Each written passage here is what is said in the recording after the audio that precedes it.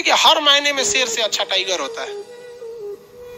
हर मायने में शेर से अच्छा कौन होता है? टाइगर लेकिन टाइगर जो होता है ना, वो अगर किसी शिकार को पीछा कर रहा है, और देखता है कि शिकार ज़्यादा दूर चला गया है, और इधर दूसरे कोनो शिकार है वो को छोड़ के दूसरा का को खा जाता है। लेकिन शेर जो होता है ना, अगर दौड़ा दिया किसी को ना, मान लीजिए कोनो बकरी को दौड़ा दिया, और ओके कर एकरे खाएँगे और दस गो बकरी ही आए तो छोड़ देगा, तू हट।